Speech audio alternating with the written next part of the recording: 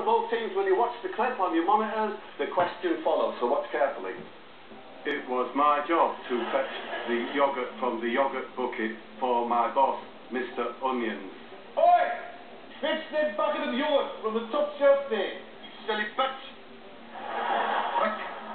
Unfortunately, the firm had provided a moron to steady the ladder. Yeah, it's true.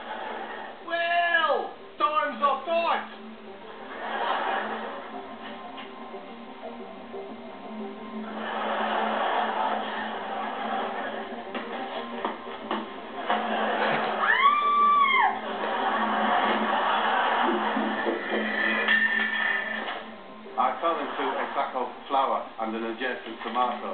Somehow, in the mayhem, a hot dog got stuck to my face. I looked like a clown. The boss and his cronies started calling me names such as Coco, Pongo. Look at you, you stupid cow. You look like Gaga the Clown from Billy Snap you do look like a dickhead. I immediately lost all my confidence and had to leave work. Come on, get out. Yeah, get out. You can get out as well, you halfwit. Get off. Don't bother asking for your P45. I flushed it down the toilet after I had a dump on it.